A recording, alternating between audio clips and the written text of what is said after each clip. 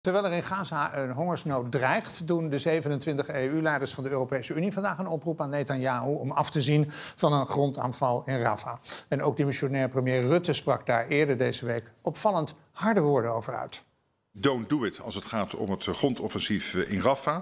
Uh, we hebben gezegd, als je het wel doet, uh, dan kan het niet anders. Dan zal dat uh, een gamechanger zijn. Dat zal politieke gevolgen hebben. En waarom? Omdat het een, een humanitaire ramp in de making zou zijn. Er wonen meer dan een miljoen mensen daar nu, of wonen. Die verblijven daar onder hele moeilijke omstandigheden. Op een stuk grond niet groter dan twee keer Noordwijk. Ja, de, de, don't do it. In the making er zitten genoeg Engelse woorden aan tafel. Uh, of in, in zo'n Tweede Kamer. Maar het is wel helder wat er gezegd wordt. Michiel Servaas, jij bent directeur van Oxfam Novib. jij hebt nog wel eens overhoop gelegen met dit kabinet... en de routes die zij kiezen als het gaat om oorlogvoering. Hoe luisterde jij naar deze Rutte? Uh, nou, um, echt, echt op twee manieren eigenlijk. Dus enerzijds zou je kunnen zeggen, hehe, uh, hij is eindelijk bereid, even los van, van, van zijn anglicisme en zijn Engel, Engels taalgebruik, eindelijk bereid om een beetje steviger te zijn, eindelijk bereid om onder ogen te zien wat daar gebeurt, eindelijk bereid ook misschien om een beetje in de spiegel te kijken dat die zogenaamde stevige gesprekken die hij elke keer maar met Netanyahu heeft, uh, niet tot effect leiden. Zodat je echt iets op tafel moet leggen als je nu niet luistert, dan gaat dat consequenties hebben. Ik vond het ook uh, pijnlijk, want uh, je zegt eigenlijk tegen die uh, 30.000 mensen die al dood zijn, of de nabestaanden daarvan, tegen die 2 miljoen mensen die gevlucht zijn, die hun huis kwijt zijn, die daar al maandenlang hartstikke klem zitten, die honger hebben. Ja, pas nu trekken we de grens. Terwijl, nou ja, het gaat niet om mij, maar hulporganisaties, de VN, trekken al maanden aan de bel. Dus die gamechanger die is niet nu, of die is niet als er straks weer een offensief uh, begint. Die gamechanger is al, ja, al maanden bezig eigenlijk. Dus ja. ik vond het ook heel pijnlijk om te zien. Is het niet ook... Kijk, want de rijkwijde van de woorden van Rutte internationaal gezien... is niet zo heel erg groot. Nee. Uh, is, is het niet uiteindelijk dat Rutte gewoon ongeveer napraat... wat de Verenigde Staten beslissen? Ja, kijk, ik wil niet te cynisch zijn, hè, want ik ben met deze beweging... Het is, het is in ieder geval een beweging, dus uh, er zit enige vooruitgang in, zou je kunnen zeggen. Maar er vallen inderdaad twee dingen op. Ik bedoel, Rutte en ik denk dat uh, de, de, de analist aan mijn rechterzijde dat kan beamen. Die voelt de, de stemming in het land aan. Hè. Dus je ziet dat nu, weet ik veel, twee derde, drie kwart van de Nederlander eigenlijk zegt... er moet stevig opgetreden worden, want er moet daar iets gebeuren. En dus gaat de premier bewegen. Dat is volgens mij het ene. Maar het andere is inderdaad dat eigenlijk al maandenlang... Uh, iedere keer als Biden iets zegt, als er in Washington iets gezegd wordt... kun je eigenlijk 24 uur later precies diezelfde teksten... Uh, uit de mond van Rutte horen komen... uit de mond van de minister van Buitenlandse Zaken horen komen. Dus er is niet echt een, een eigenstandige lijn van Nederland... En ik, wat ik, wat ik ja, in die zin ook kwalijk vind, hè, dus het wordt nu specifiek op, op die dreigende aanval op Rafah uh, geprojecteerd. Daar weet hij dat Amerika daar maximale druk op uitoefent. Daar weet hij dat er een Israëlische delegatie in Washington eigenlijk uh, nou ja, verordeneerd is om, de, om daar te komen. Dus dat gaat waarschijnlijk niet op hele korte termijn gebeuren. Dus het is redelijk veilig om zelf ook een beetje stoer te zijn. Terwijl die grenzen open, ja. daar gaat het nu ja. om. Als je daar vuist op, op, op, maakt en daar een ultimatum op stelt... Ja, dan dat betekent iets wat mij betreft. Wat wij hier zien, uh, uh, beeld als je gewoon voor je uitkijkt, is, is Rafah. Daar is een groot aantal mensen mensen nu die er daarvoor niet waren. Die zijn daar al naar, naartoe gevlucht. Dat maakt dit gebied natuurlijk nog, uh, nog meer uh, precair.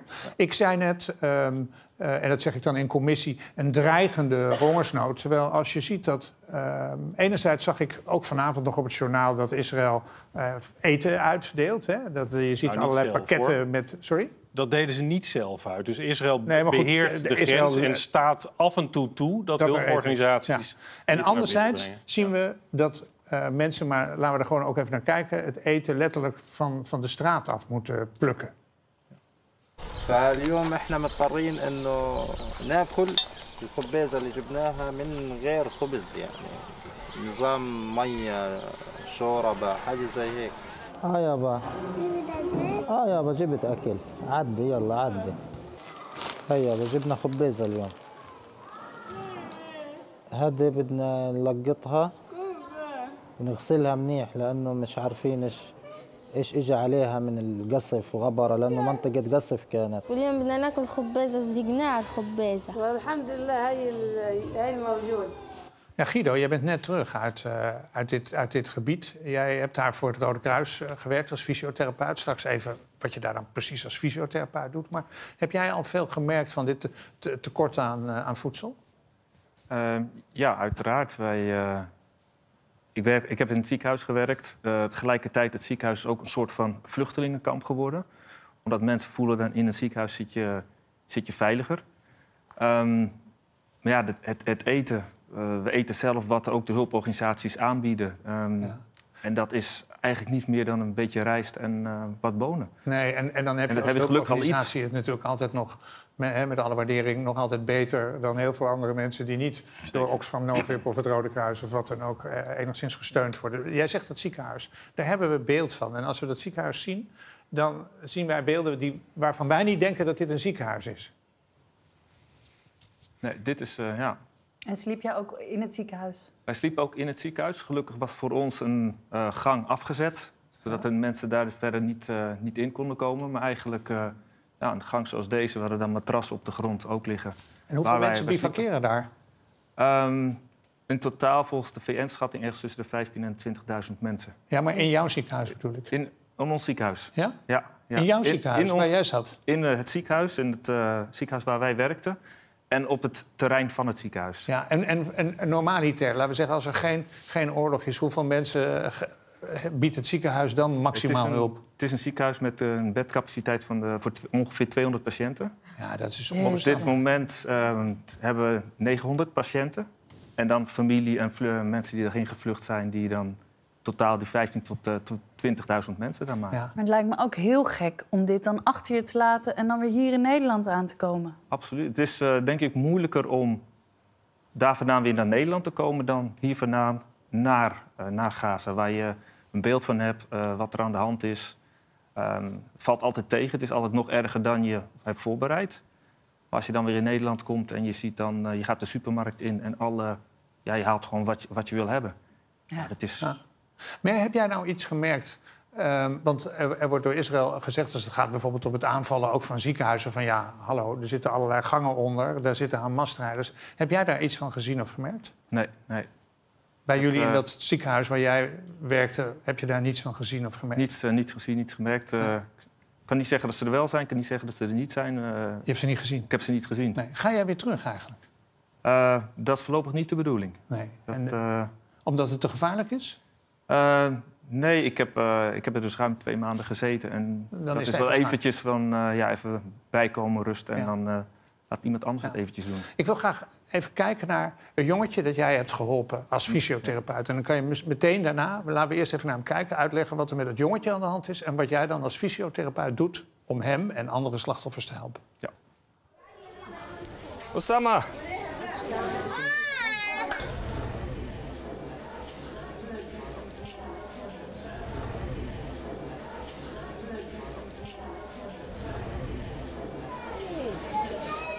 Look at you. Look at you. No, galas? Galas? Vertel eens wat over dit jongetje als je wil. Ja, dit eh, jongetje is zes jaar oud. eh, Osama, zoals je in het filmpje kon, eh, kon horen. Ehm, is eh, in Gaza-stad. Ehm, ja, was gewoon met zijn familie aan het eten. En het, eh, zoals bijna alle patiënten, eh, explosie, gebouw stort in. En deze jongen, nou, je ziet zijn gezicht, zijn armen, zijn rug, zijn benen, alles eh verbrand. Eh, tweede tot derde graads verbrandingen. Ehm, je ziet op, op deze foto zie je, hem, ja, hem heel erg lachen, heel erg blij zijn, eh, heel optimistisch. Ehm, maar je ziet ook wat je heel mooi in het filmpje ziet. Je probeert met hem te gaan lopen, je probeert dingen met hem te gaan doen en plotseling is het ook over. Eh, je ziet dat hij nu niet kan lopen. Een dag ervoor kon hij het wel. Een, een uur daarna kon hij het, kon hij het weer wel. Ehm, Ja. dat is natuurlijk, eh, het is niet alleen de, de fysieke verwondingen die je ziet, de brandwonden, maar ook ja, de mentale. Hoe gaat het nu Ehm, eigenlijk met hem? Op dit moment gaat het heel goed. Ehm, Het probleem is een beetje, ja, nou, hij is eigenlijk uitbehandeld. Hij, eh, hij loopt goed. Eh, ik heb gelukkig nog contact met degene die ehm, na mij gekomen is. Hij, gaat, hij gaat heel goed. Het probleem is alleen, ja, hij is klaar om ontslagen te worden uit het ziekenhuis. En dan? Ja, waar moet hij naartoe? Precies. Ja. Dus totdat er een oplossing gevonden is, ehm, mag hij in het ziekenhuis blijven. Ja. Of totdat er iets gebeurt waardoor er echt de bergen heel hard nodig zijn... dat hij zegt van ja, nu moet je eruit. Ja. Michiel, jij, eh, jij bent voordat je bij Oxfam Novik eh, te werk kwam ook eh, politicus geweest. Ehm, misschien wil je daar niet aan herinnerd worden, maar Oké. zo kijk je tenminste niet een beetje. Maar je kan het in ieder geval niet ontkennen. En, ehm, als wij praten over deze oorlog tussen Israël en, eh, en, en Hamas...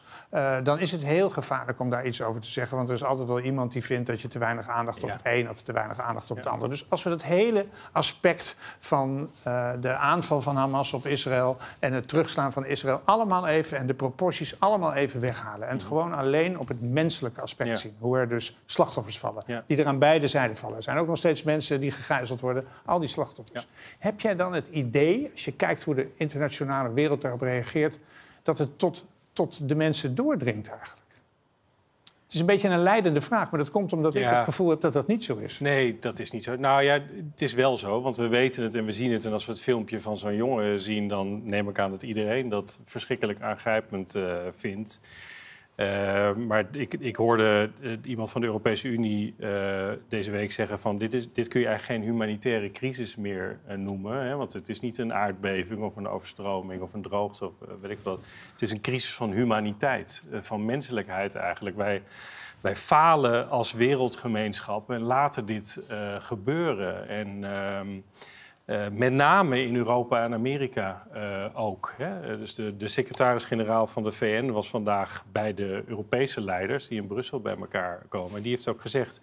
Wat jullie in Oekraïne doen is goed. Jullie houden de standaarden van het internationaal recht, waar we sinds de Tweede Wereldoorlog voor geknokt hebben, houden jullie hoog en jullie gaan achter die mensen staan. Maar jullie gaan hard onderuit als het om Gaza gaat. En ik, dat, dat vind ik wel moeilijk, dat wij dat nog, denk ik, te weinig... en zeker in de politiek eh, onder ogen zien en daar conclusies aan eh, verbinden. Ja. Is dat, eh, Sander, ehm, iets als je zo de, het politieke debat volgt? Heb jij ook het idee dat het in die zin eh, meer over Oekraïne dan over ehm, dit conflict gaat? Ja, vind ik een moeilijke vraag. Want allebei de conflicten, eh, daarvan is iedereen in Den Haag doordrongen dat het, dat het vreselijk is. En eh, elke keer eh, als je dit soort beelden ziet, dan komt het natuurlijk hard binnen. En dat hebben politici denk ik ook nodig. Maar ik denk dat het hetzelfde een beetje is voor politici, misschien toch ook wel als voor Guido. Ik denk dat als je daar bent, eh, je hebt een beetje van waar moet je beginnen? Ja. En dat is voor politici in dit conflict waarvan jij net beschrijft hoeveel haken en ogen eraan zitten en allerlei partijen waar je ogen en oren voor moet hebben. Dat is voor een politicus ook zo. Maar in zijn algemeenheid kun je zeggen, de Tweede, de Tweede Kamer op, op misschien eh, een, een enkele partij, die wij dan maar even aan de rechter, eh, uiterste rechterkant noemen, eh, eh, zijn ze het er wel over eens dat Rusland de agressor is en dat Oekraïne zich zou moeten kunnen verdedigen. En de vraag is hoe ver willen wij daaraan meehelpen? Ja. Eh, is, kun je ook zo'n zo'nzelfde, kun je zeggen van eh, er wordt partij gekozen voor de een. Nou ja, Nederland heeft natuurlijk, de Nederlandse regering heeft vanaf het begin gezegd: Israël heeft het recht zich te verdedigen. Ja, na de aanslagen in oktober vorig jaar. Ehm, en daarna eh, is- gaat dat steeds langzaam wat schuiven. Tot deze week bijvoorbeeld ook weer. Als Rutte dan zegt van ja, de- dat zou een gamechanger zijn. En Ja. dat doet hij dan samen met zijn Europese bondgenoten. Dus het is inderdaad in de veiligheid van, eh, van wat bondgenoten in de wereld. Ja, het is wel weer een, eh, het is wel weer een stapje. ja. Zo werd dat deze week ook wel bekeken. We gaan het er nog vaker over hebben. Dankjewel. Helaas. Goed. Ehm,